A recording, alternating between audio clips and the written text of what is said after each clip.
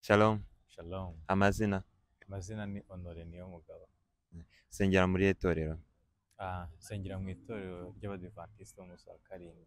Ah, nuhe murimo ukora mu itorero ryawe Ah, mu itorero ndi umuririmbyi. umuririmbyi uririmba muri iyihe kwaya cyangwa se iyihe gurupe yitwa gute Ko ndirimba mu ma- mu makorali menshi atandukanye. Nyavuge yose. yavuga ntacyo Ah, ndirimba muri korali yitwa The Preachers. Mhm. Ndirimba muri Heritage Vocal Band ndetse na Rap of the Dog. okay.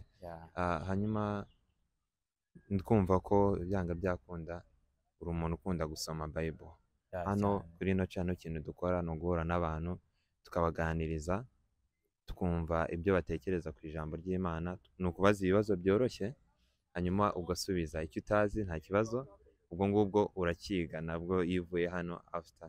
Ariko hari n'umuntu ukwigiraho kuko aba atabizi. Hanyuma are you ready. I can ask you a question. Yeah, more than ready.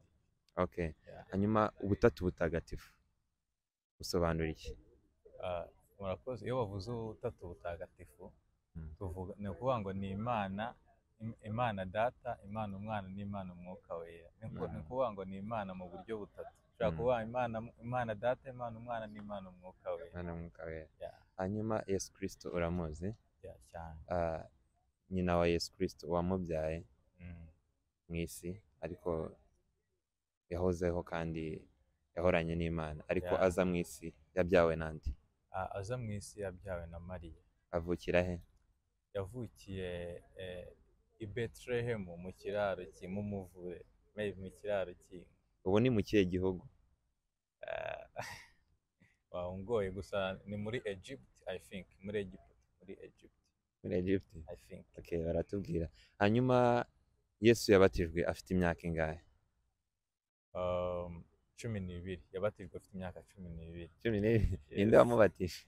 Yabatijwe na Yohana Yohana umubatiza ni we wamubatije. Yohana. Hanyuma yesu misiyo yamuzanye ku isi ni iyihe? Ni iki cyatumye yesu ava mu ijuru akaza mu isi? Mu by'ukuri icyatumye Yesu ava mu ijoro akaza mu isi yari aje gukiza umuntu ngo yari aje gupfa mu cyimbo cy'umuntu just niyo mission iri the first yari imuzanye kuri iyi si. Umuntu se yaziraga iki? Ibyo ni ibintu byinshi ariko umuntu amaze gucumura umuntu amaze gucumura yagombaga gupfa kuko niyo yari effect y'icyaha yari yakoze.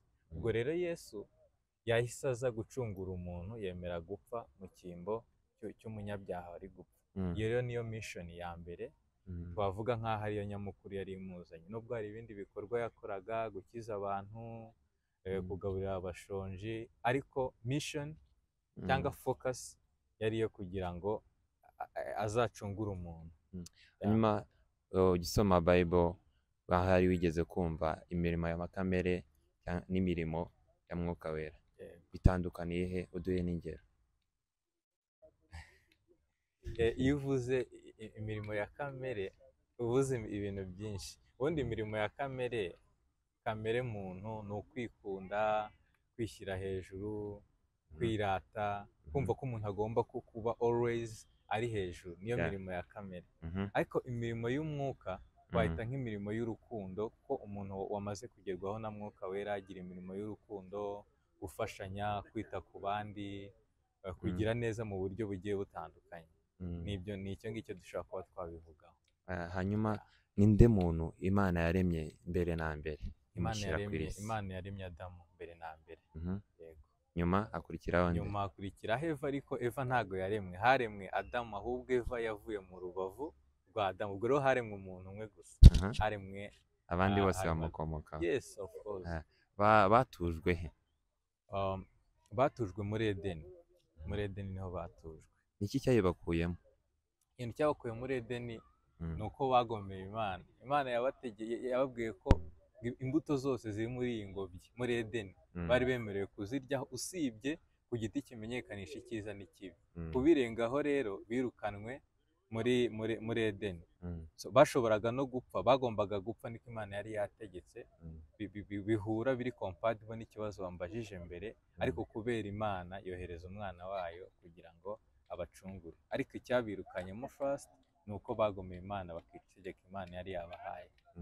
Hanyuma mu gihe cya none tubona amabara agize umukororombya akoreshwa nk'ikimenyetso cya- cy'abatinganyi. Ariko siko bibiliya ibisobanura. Ah, wabuze icyo umukororombya usobanura muri bibiliya? Ya urakoze cyane. Ndabizi. Ni ukuvuga ngo uh, imana ikimara kurimbuza isi umwuzure mu gihe cya nowa Mhm. Yahise ishyiraho umukororombya wasobanuraga iki? Wasobanuraga ngo imana ntizongera kurimbuza isi amazi cyangwa se kurimbuza isi umwuzure ukundi. Mm, ni cyo umukororombya wa- wasobanuraga. Mm. yego. Ah, ni irihe jambo rigufasha muri bayibolo hari ashobora kuba ari menshi. ariko rimwe rigufasha. Mm. ariko iriruta irindi. Iriruta irindi ni ni ni ni ni ibi- ni isomo riri popira dusoma mu- muri zaburi ya makumyabiri na gatatu ntaho Mm. uwiteka ni we mwungeri wanjye sinzakena. Kuri uwo murongo uwiteka ni we mwungeri wanjye sinzakena. Numva ko ibyo ndimo byose nubwo iyi si wenda tuba turi muri struggle Mm, kubura akazi kugira gute kuri amafaranga ariko nkizera ko mu ijuru hari ha- hari imana hari umwungeri sinzakena. Ir- iryo ni ryo jambo rimfasha. Ah, hanyuma bayibolo igizwe n'ibitabo bingahe byose hamwe? Bible igizwe n'ibitabo. Bayibolo yera. Yego mirongo Mm. itandatu na bitandatu. Mirongo itandatu na bitandatu. Bigabanyijemo ibice bingahe? Bigabanyijemo ibice bibiri. Mm, hari isezerano rya kera mm, uh, akaba n'isezerano rishya. Ndumva irya kera ririmo ibitabo mirongo itatu n'icyenda i think. Then irishya bikagira makumyabiri na birindwi. Nimba nibeshya ariko i think ikari uko bimeze. Turabigenzura. Hanyuma Ah. yesu atoranya intumwa. Yatoranyije intumwa zingahe? Yatoranyije intumwa cumi n'ebyiri. Eshanu muri zo wibuka. Eshanu muri zo harimo simoni petero harimo yohana uh, sizo ntizihagije. Ni ngombwa kugira ngo ngere kuri eshanu. Yego na yo maze ku- ku- ku- ku- kuvuga ebyiri. Mm, Um, harimo luka harimo eh, abandi ndabibagiwe harimo yohana harimo yohana. Wari wamuvuze. Wibagiwe n'uwamugambaniye. harimo yuda. Mhm, yego. N'abandi benshi cyane. Eh, Ah, ninde wamugambaniye? Yuda. Yuda ni we akamugurisha wamuga- yuda ni we wamugambaniye. Bayibolo ivuga ko yagurishijwe amafaranga angahe? Ntago ndi kwibuka estimated value y'agaciro k'amafaranga bamuhaye. Gusa icyo nzi cyo ni uko yari amafaranga menshi.